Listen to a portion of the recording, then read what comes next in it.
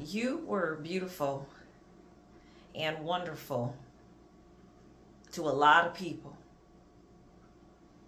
God, his face, face is shining on you because of the type of person you are. See, these people had you in their presence for a long time. But for some strange reason, they didn't know how you should be treated, how you should be, the type of person you were. They studied you all this time and couldn't figure out how you were supposed to be treated. So they decided to be nasty and trashy towards you. Just downright despicable. Without cause. And your absence is their misery. You're no longer in these people's presence anymore because God moved you out the way. He said he was tired of them treating you like you were less than, like you were no one, like you were like you were just here wasting space. God said you weren't here to waste space. You was here to be a light. You were that light to these people. But in return, while you were being the light, they chose to give you nasty and trashy energy. So you came to realize that you didn't need these people. You didn't need their nasty and trashy energy and you decided to move forward with your life. See, you have to know your worth. And you figured out your worth at a young age. You figured out your worth. You've been through so much abuse. You've been through so much turmoil.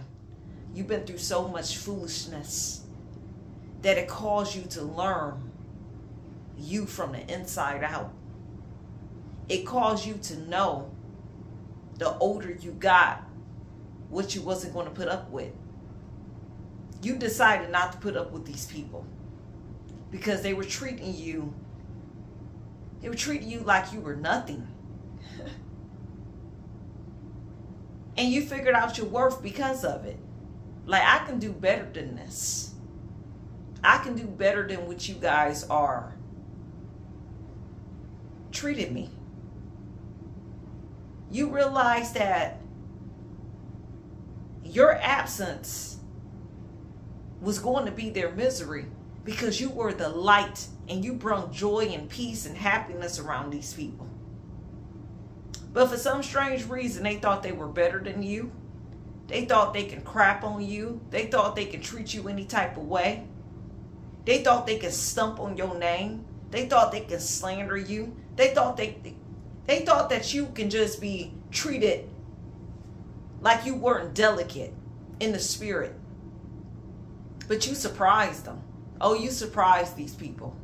See, while they were out thinking you didn't know your worth, you were teaching them your worth by you walking away from their foolishness.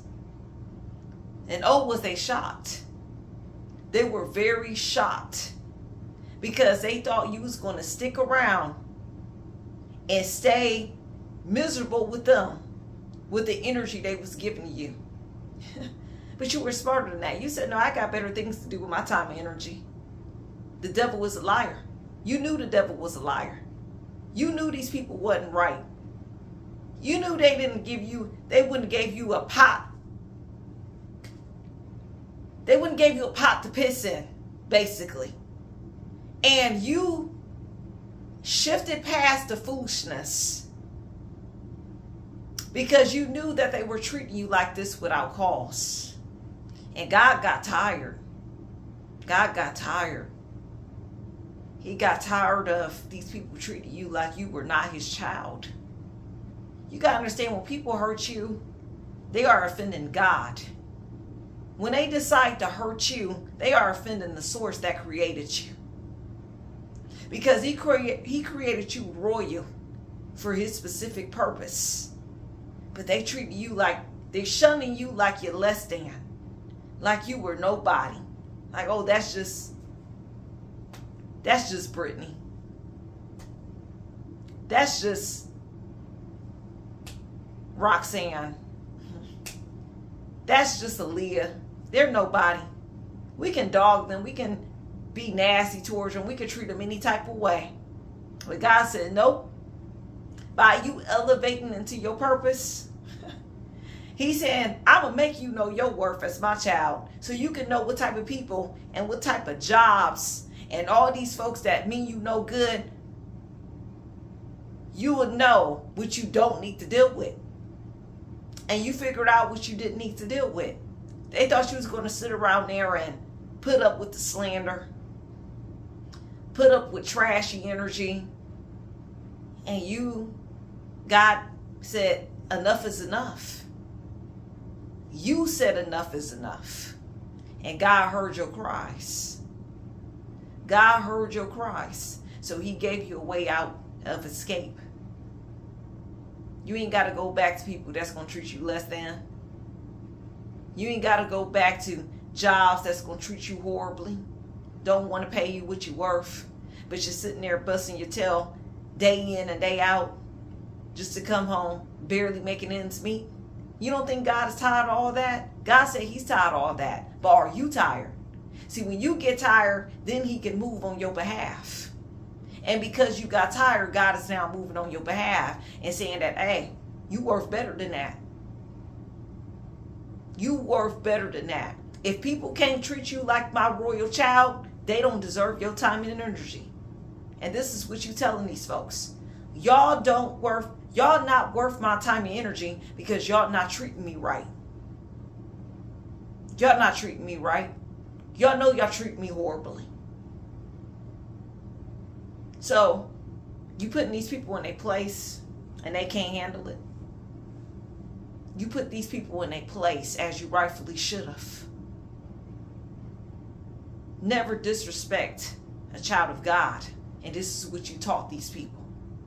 Or they can surely get your absence. And got to hear from you again. You don't care because you don't hear from these people. They more worried about you than you worried about them. You're not even worried about them because God got you shifting forward in your life purpose. See, they thought you was going to cry. You was going to beg, plead. God said you ain't got to beg nobody. You are royalty. That's who you are. You come from a royal heavenly kingdom. It ain't your fault that these people don't believe in God. It ain't your fault that they made money their God and material possessions. You chose the Holy Spirit over these things. They chose their material possessions over the Holy Spirit. So they, despise you because of that. Oh, you ain't got a lot of money, so that makes you nobody. When they don't even know that money can come and go. And not only that, you can't take that with you when you leave the earth. You can't. You can't take nothing with you in this life.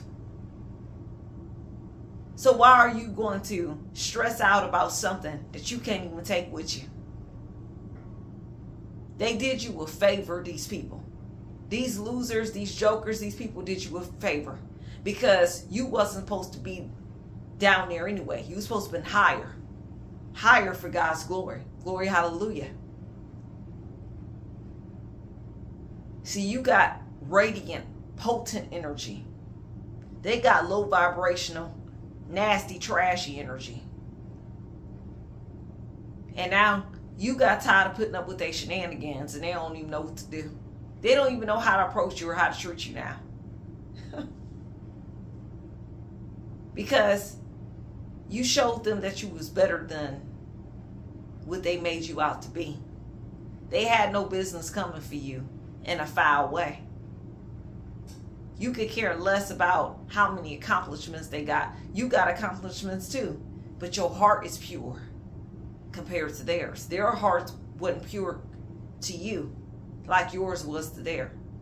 And God said, I'm just going to move you out the way. And He moved you. He moved you. And you should be thankful that God moved you away from these nasty and trashy people.